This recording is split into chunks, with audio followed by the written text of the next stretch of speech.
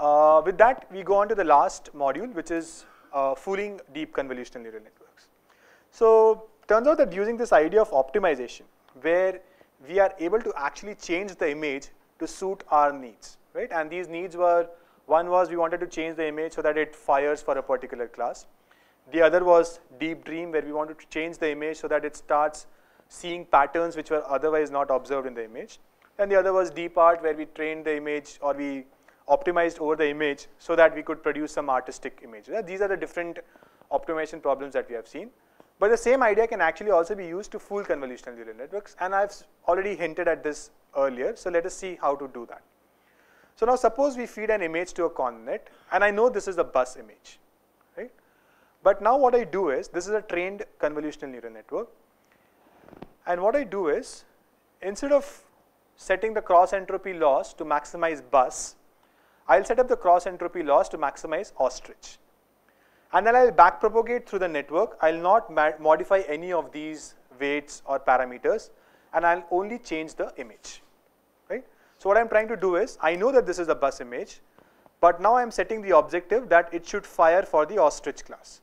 So I'm going to backpropagate and change this image so that the log, the likelihood of the ostrich class increases. So you get this setup? It's very straightforward. Okay. And Turns out that if you do this with very minimal changes to the image, you can actually fool the convolutional neural network. Okay? So this is the change, right? You have the original image. The second image is actually the amount of change you made. And the third image is the original image plus this change. Now to the human eye, there's no distinction here, right? You would, all of us would still think this is a bus.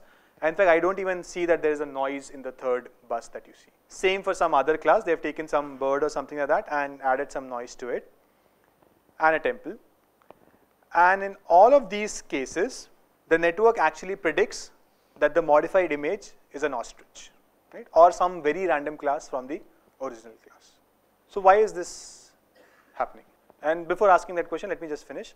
And it need not be that you start with an original image and then try to modify it. Actually, you can start with a blank image and do the same experiment where you modify the image minimally so that P of Robin becomes 1 or close to 1. And you'll get some very arbitrary, noisy looking images which, no, which to at least you and me don't look like a cheetah or robin or armadillo. But the network thinks that these are the classes that these images belong to. Now this is definitely risky. How many of you appreciate that? Is bad. Okay. Now, and a network is not just predicting it, it's predicting it with a very high confidence, right? 99.6% confidence. So why is this happening? Can even think of a reason for that? No, no, but okay, in that case, I would have been fine if there are 1000 classes. It should have given 1 by 1000 probability to all the classes, right? But this is like worse than random classifier. Right? It's saying with 99% confidence that this is a ostrich or whatever class it is. So why is this happening? And the interesting thing is that this, in some sense, ties back to the universal approximation theorem, or at least some ideas from there. Can you think of why this is happening? Okay, so let's try to see a very intuitive explanation for this. Uh, this, uh, Soham, so this explanation is due to Andrej Karpathy. We need to put the acknowledgements. This slide does not have any acknowledgements actually. So remember that images are extremely high dimensional objects, right? They're 227 cross 227, which is a very, very, very high dimensional object, high dimensional space. And no matter how much training data you have, you see only a small sample of this high dimensional space, right? Because it's real numbers 227 cross 227. Just imagine the number of possibilities out there. No matter you have 1 million samples, 10 million samples for training, this is much, much smaller than the actual number of samples which exist in this space. Of these, only a few are images, right? So now think of all 227 cross 227 matrices that you can make and how many of them are actually going to be natural images. The probability of natural images is very, very, very, very small. Most of these are random things, right? They're just matrices which don't make any sense, which actually look like these images that you see here, right? Now, using the training images, we fit some decision boundaries. And this is the decision boundaries that we fit, right? That this is class 1, the rest of the green part is class 2 and so on.